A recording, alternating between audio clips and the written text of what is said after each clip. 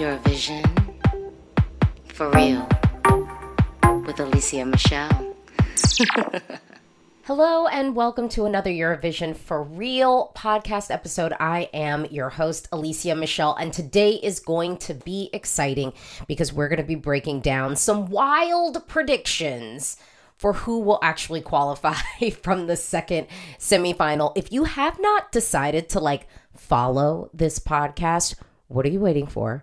Just hit the follow button. You'll get notified every time there's a new episode and you can hop in here. And to be fair, all the episodes here are not just videos like that I do on my YouTube channel. I try to do, you know, some tailored content, you know, for the Eurovision for Real podcast. So, firstly, thank you for listening if you're listening. And then I think we should just get into this conversation now. If you listen to my previous podcast, I was talking about, uh, you know, semifinal one. Now, people are calling semifinal one the semifinal of death. And I'm not going to lie, I am living in that world. I know there are some people who are like, what if both of our semifinals are like really competitive? Here's the thing we could have two really competitive semifinals. But the thing is, to me, what makes like a semifinal of death is where I know I'm going to lose more than one really, really good song. And the tricky thing with like kind of saying that is we don't know all the songs. And if we look at the second semifinal, like as of me recording this, we don't have Austria's song. We just got Switzerland's song. I don't have Greece's song yet. Albania's doing a revamp, and I don't have that yet. Armenia is like super quiet i feel like. I don't i don't know what armenia is doing. Like armenia is so quiet that i'm like are y'all par- participating this year? Are you gonna grace us this year?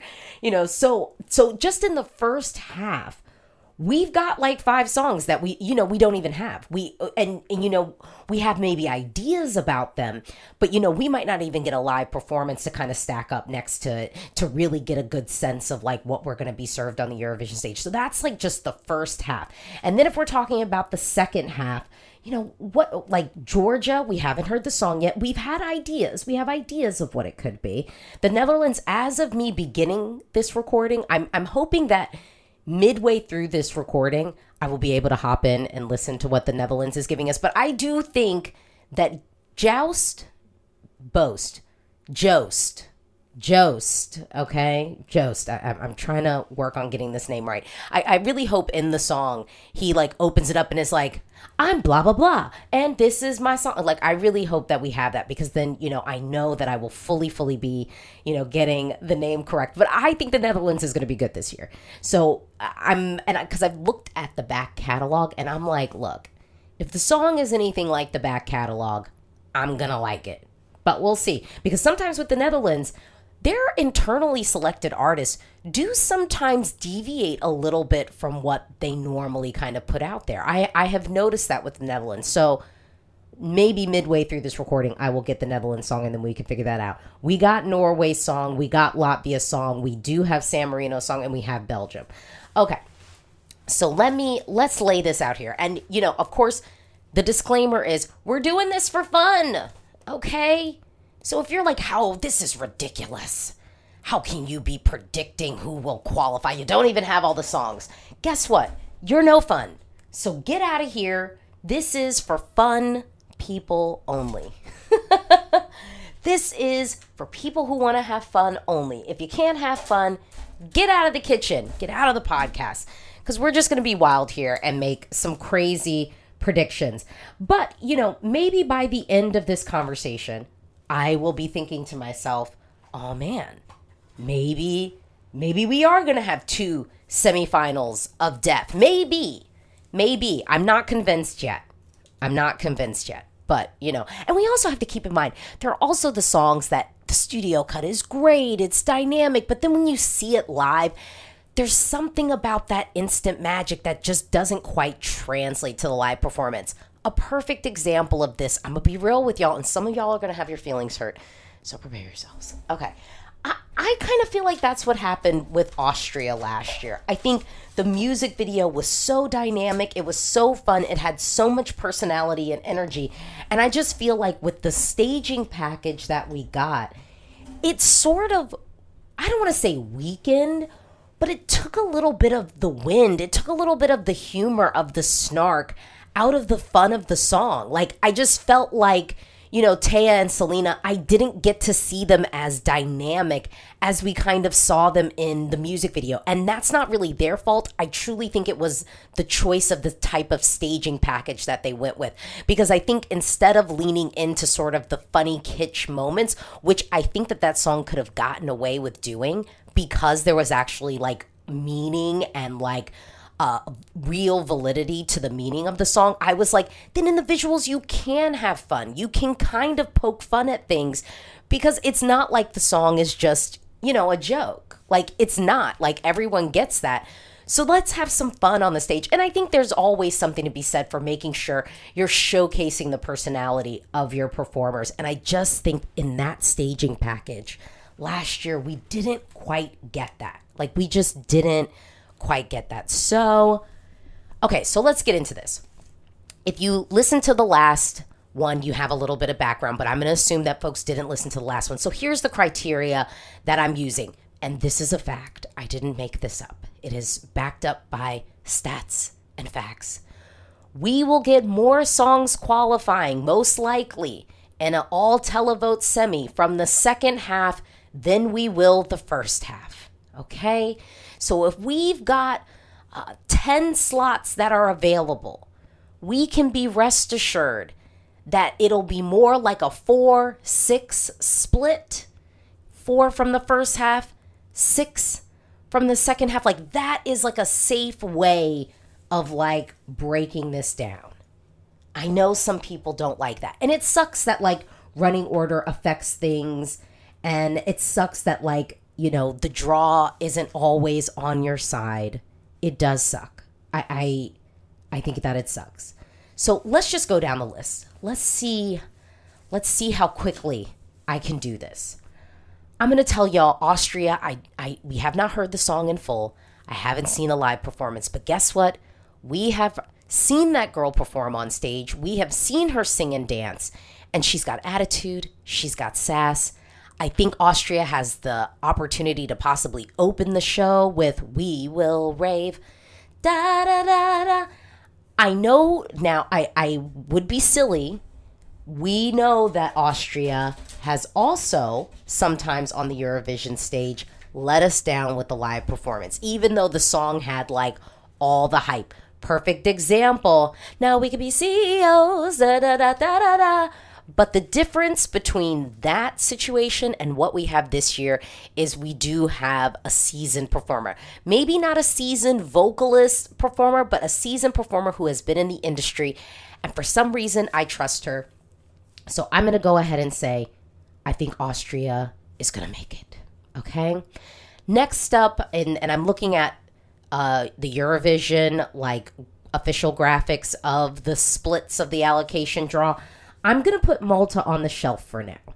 I'm putting Malta on the shelf because although I think Europe wants to have fun and they want to have a party, I do wonder if if poor Sarah Bonnici could be compared to uh, Kaleen. Is her name Kaleen from from Austria? If she is compared to Kaleen, people might want to buy that package over Sarah Bonnici. We don't know. At least Sarah Bonnici has given us a live performance. So I'm not saying that it'll really be her fault. And we know that Malta has traditionally struggled with the televote. So I'm putting Malta on the shelf. We'll come back to it if we have some slots, if we have some slots open, okay? So I'm I'm starting this off with a 4-6 split. I don't know if this is how it'll go, but I'm going to try to do this with a 4-6 split. Switzerland just came out. I'm telling y'all, I love it. The song is, I think, dividing a lot of people. But I think divisiveness sometimes works at the Eurovision Song Contest. So I'm going to go ahead and say that Switzerland is going to make it. The other thing that makes me think Switzerland is going to make it is Switzerland has made it with less. Switzerland has qualified with far less. Now, I do think that this song again divisive. I I just the only thing that makes me maybe nervous is this is a vocally challenging song and Nemo is a young performer and y'all know I get nervous for my young performers. I do. But Remo last year was a young performer and the vocals were on point. So I'm going to go with a little bit of hopefulness. I'm going to go with a little bit of hopefulness. And I am going to say Switzerland is going to make it because also, too, Switzerland does stage well. So we know the staging is going to be on point. So I'm feeling good about Switzerland making it. Greece, we don't have the song, y'all. And I know some of y'all are going to be like, Alesia, how can you say this? Y'all, I'm I'm, I'm going to say that Greece is making it. Okay. Marina Satti is a seasoned performer. I know that Marina, the word on the street is that she was basically, she was just being given song after song after song, and she was being picky. And I love that she wasn't just taking the first thing that came her way. She was like, I think there was a little bit of, I need to stay true to myself. What we're hearing about the song is it's going to have some English elements, but I think it's also going to have Greek elements. So it's going to be a little bit of an ethno fusion sort of experience. Marina Satti is well known. She is someone that a lot of us who love Greece, yes, I love Greece at the Eurovision Song Contest, who love Greece have been kind of hoping that she would represent Greece. So I'm going to say Greece is in there. I'm, I'm going to give it to Greece that I think they're going to make it through. And and here's the thing. Marina Satti, I just want to be clear, although a young female performer, she's not a dipping and doing it young female performer a la Kaleen and Sarah Bonnici. You know, so I think she gets to occupy I, think she will be able to occupy a lane the only person who could be coming for her would be besa from Albania. And I will say, I actually think studio cut wise, this song feels modern for Albania. It feels traditional, but there's a little bit of attitude, there's spunk to it. So in that fourth slot, I'm going to tell you what I'm in between. I am in between because Armenia also too, I don't know. They've been radio silent, so I really think that this fourth fourth slot could be Armenia. If they're coming correct like they did last year, I'm feeling confident about Armenia. I'm gonna be real with you. I'm feeling real confident about Armenia if they give us something a la what they did last year. But I have no clue. I have no clue. So I'm gonna be irrational here, or, or actually, I'm gonna be rational here and just say I just don't have enough information about Armenia right now to even consider putting them in the slot. And so the people who will benefit from this are going to be Albania and Denmark. Because here's the thing Czechia, as much as I think the studio cut of Pedestal is good, that live performance at the national selection really shook me to my core. It shook me to my core so deeply because I was so shocked at how poorly executed that vocal was. I have to be real. Now, do I have hope that Aiko can get in the vocal gym and get it together and figure out how to pace this song better? I can be hopeful. And we should all be hopeful for her because this is her introduction to the world. So I want to see it, but I'm just going to go ahead and say that it might not come together in the way that we want. Not to mention the fact that, yes, Czechia has struggled before uh, historically at Eurovision. I know that they've been on a better train, you know, recent years, obviously, but I am still, I, I do still think, you know, Czechia is still building a little bit of their Eurovision sort of knowledge, even amongst like folks in the Czech Republic, where like every time I've talked to like Czech artists, they're like, yeah, a lot of people don't even really know about Eurovision. So I think we, won't fumble the bag too much. It won't be that bad, but this will be a learning. Um, this will be a learning year, I think, for Czechia potentially. Because the other thing with Czechia's song is, remember we've talked about this before. Sort of, they call it like the strong woman curse, and I kind of hate the phrase of that. But unfortunately, I do think it tends to be accurate. Perfect example of this was I'm speeding you up, no longer apart. We don't beat from the same heart. Another, I would say, recent example of this is Ronela. Ronela, I think, is a recent experience of this. It's something about the genre where women have these songs that get seen as aggressive. And for some reason, with televoters i think really have been affected by it more than juries and now you know we're living in a world with no juries in the semis I think that Aiko's song does kind of fall in line eh, or could be interpreted that way. And so I'm going to say that Czechia is going to sit this one out. I love the studio cut, but I feel like I have to be realistic. So again, fighting for this fourth slot, I really think it's going to be Albania v Denmark. And and the crazy thing is, Denmark might actually have the edge. There's something about the song that I think is sticking with people, although it is a little bit like to me this is Denmark's song is kind of like a perfect example of like a songwriting camp song. It's radio friendly. It's inoffensive. It's a song that does feel formulaic. It has the vocal moments. It has a very clear, you know, song structure that everyone can follow. Verse, pre chorus, chorus.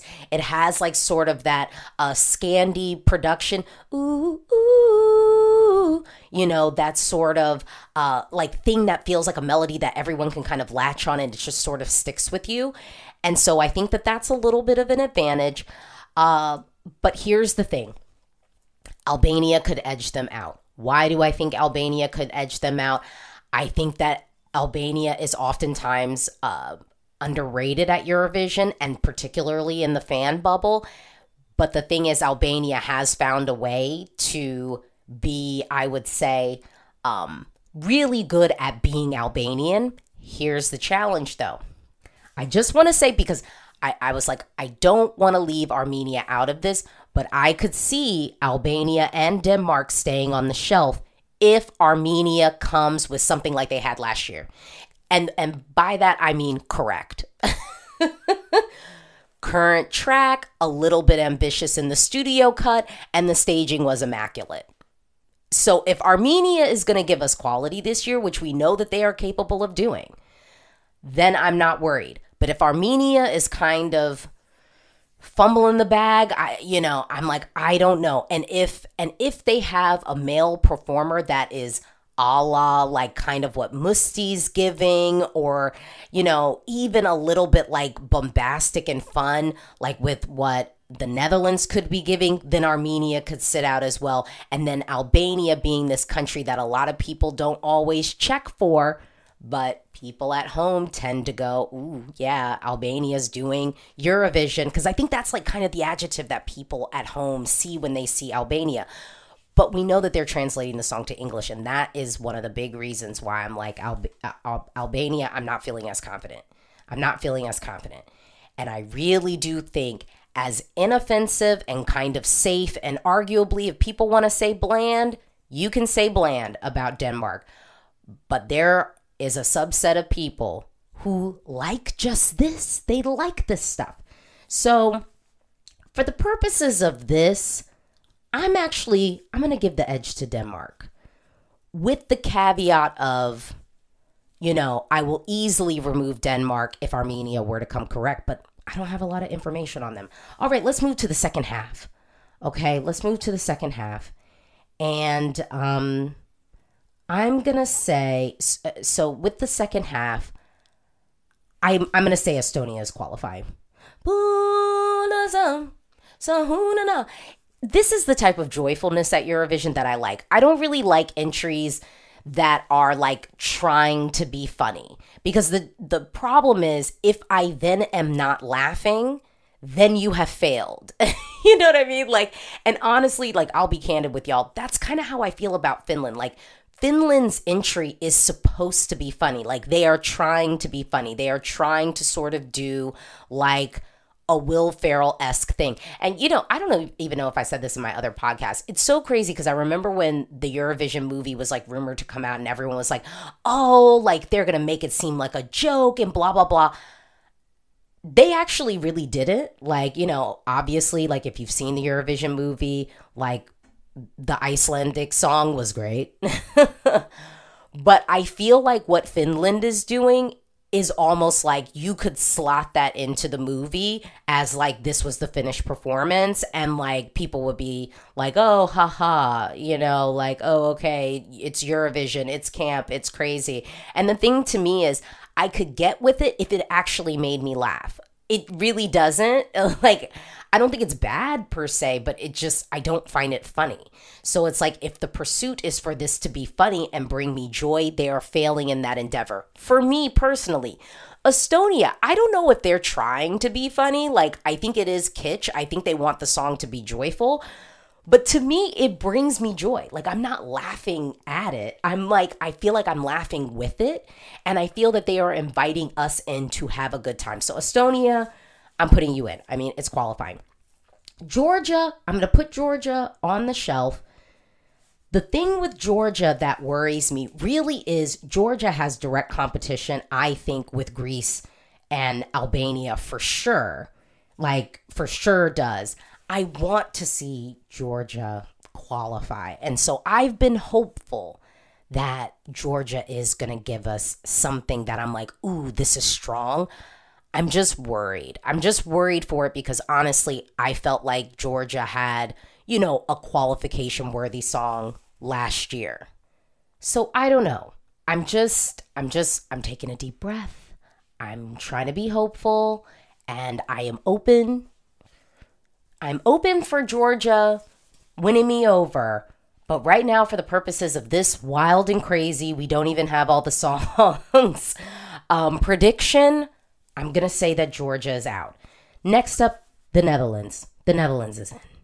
They sat out last year. They learned their lesson. They're coming back for a vengeance. The Netherlands is in. I actually think that the Netherlands has the opportunity to possibly best some of the other fun, out of the box, wacky entries that we have this year. I think just based off of what Joost has done in the past, yeah, what based off of what Joost has done in the past, if it's a la that, you know, and I really think it could be the Netherlands and Croatia battling it out for that televote winner. And honestly, Croatia might actually have the edge, y'all. They might, they might they might, but we'll see. I think the Netherlands is really going to deliver, so I am optimistic. Norway, I'm putting you in. Norway is qualifying. You're in.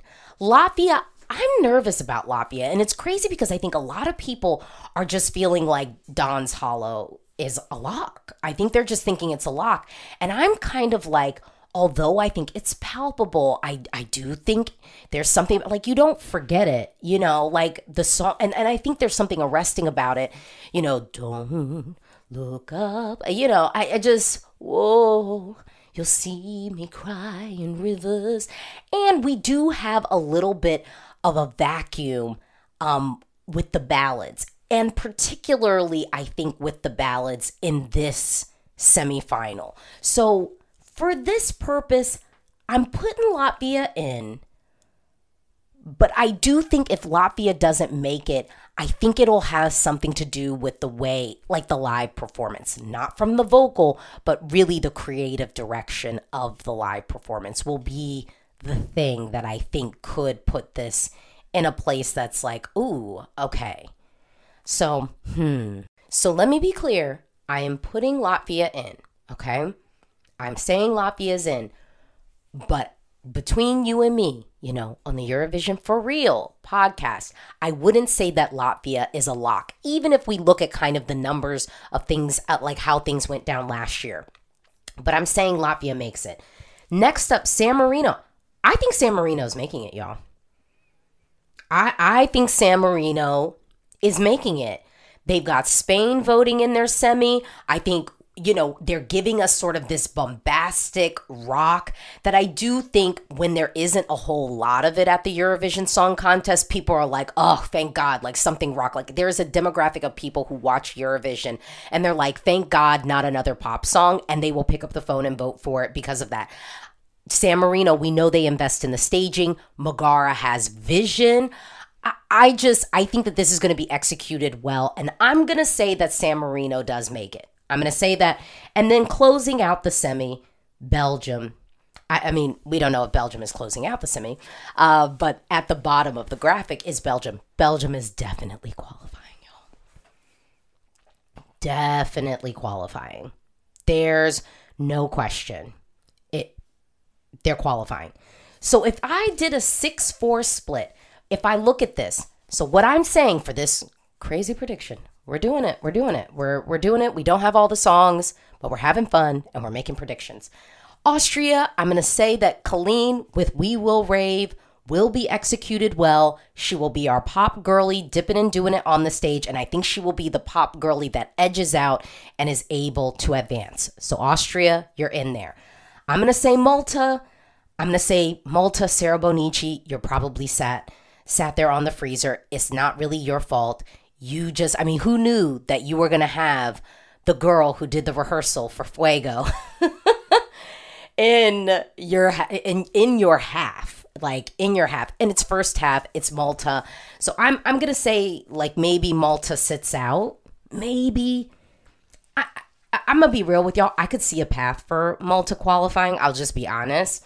But let's say Malta gets shafted with the running order. Again, Malta has struggled before with televote. So let's just say Malta is out. Next up, Switzerland. The song is seeming to be divisive, but I think it's going to be executed so well that even for the people who are kind of like, what did I just see? They'll be like, what did I just see? This is crazy. But I'm sold. like, this was wild. I've never seen anything or heard anything like this. I'm picking up the phone and I'm calling. So, Switzerland, you're in. Next up, Greece, you're in.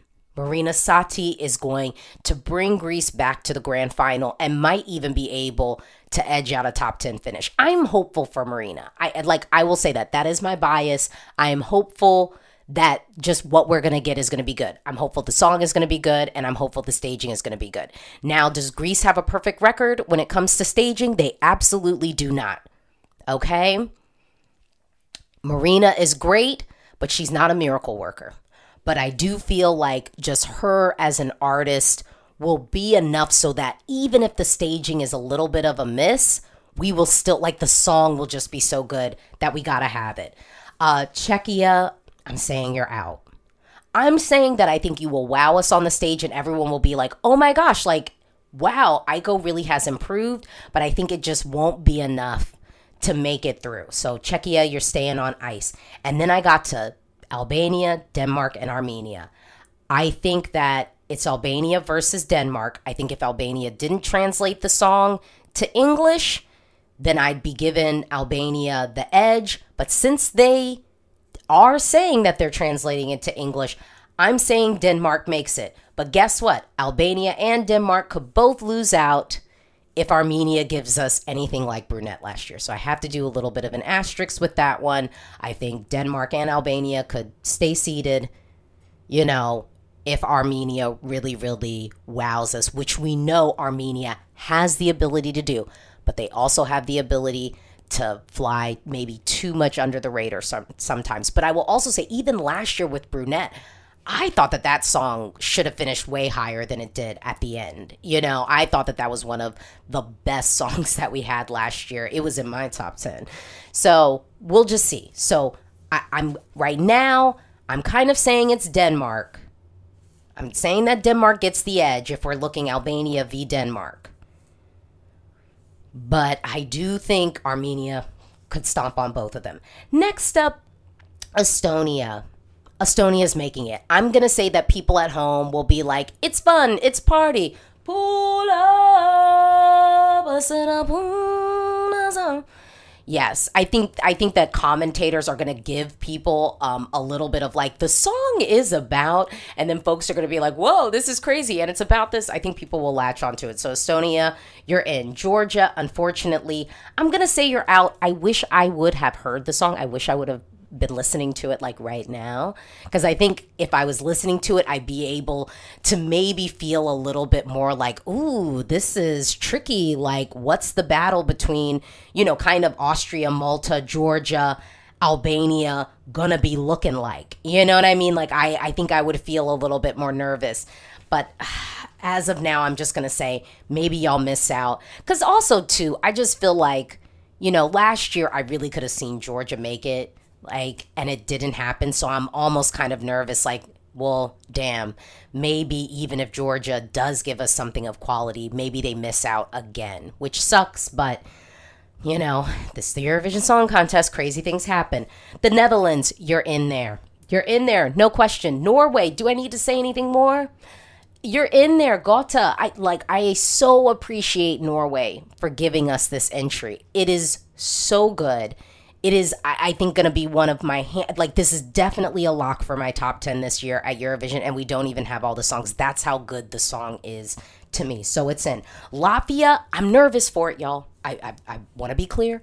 I'm nervous for it, but Latvia, I'm saying you make it through. I think because this is, you know, really a straightforward ballad, you know, I should say a straightforward power ballad. And we really don't have a lot of that, particularly in the semi. I think it'll end up feeling refreshing. So we're going to get Latvia. San Marino, you're the rock uh, person. You're giving us the metal. Like you're holding it down. So San Marino, you're in there. And then Belgium, I mean, I think that this is, I, I'm worried about the staging for it, but I'm not worried about Mustii. And I think sonically the track is strong. It's qualifying for sure. Oh my goodness, y'all. Uh, so I have to do, I guess, a resolution. So I did it. I did it. This is completely crazy. We don't have all the songs, but I made a prediction. How do you feel about it? Who do you feel is missing? You think you want to make a case for a country that I didn't mention that that's going to make it through? Feel free. Feel free to tell me. But I will tell you, looking at this list of what's left with love, I think I'm still living in my world that the first semifinal is the semifinal of death. And I think for this second semifinal, I think the songs that we let go, I think we're not going to feel that bad that they were let go. I think that we will be able to come to terms with the fact that those songs maybe needed to be left on the table so that we can have, you know, the strongest Eurovision grand final that we can have. Well, that concludes this episode of the Eurovision for Real podcast. We broke down semifinal two crazy. I can't believe that we did that. If you love this podcast, please do everything you can to subscribe and follow. You don't want to miss any of the episodes we have coming up. And I know some of y'all aren't really on YouTube like that and they're like, "Okay, well can you do more stuff here?" I will make sure that my interviews pop up here. And I mean, we're really in Eurovision season right now. We really really are in the thick of it and I just want to say thank you for listening and please do follow this podcast and subscribe. I got more in store for you.